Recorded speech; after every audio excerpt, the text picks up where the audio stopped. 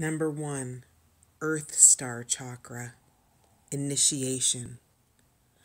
Oneness, collective consciousness, anchoring transmissions from the higher realms, sacred earth knowledge, integration of the divine, working with grid lines. You are standing at a gateway into the unknown with trust in your heart ancient remembering in your soul, and inner illumination to light the way.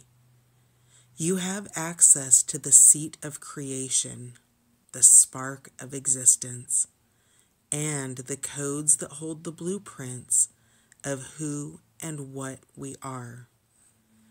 This place is clear and grounded despite moving through multidimensional realms and able to bridge worlds while functioning in physical reality.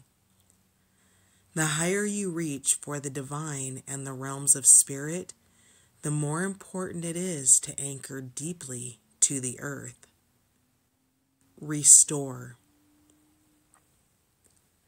Exploring clearing meditations, self energy work, and put intention into the meaningful parts of your life. Find ways to balance your life. Be aware of the times of day that are more conducive to different states of consciousness, such as flow, meditation, and productivity. Themes Integration of spirit and the eternal self, how you balance spiritual and physical reality.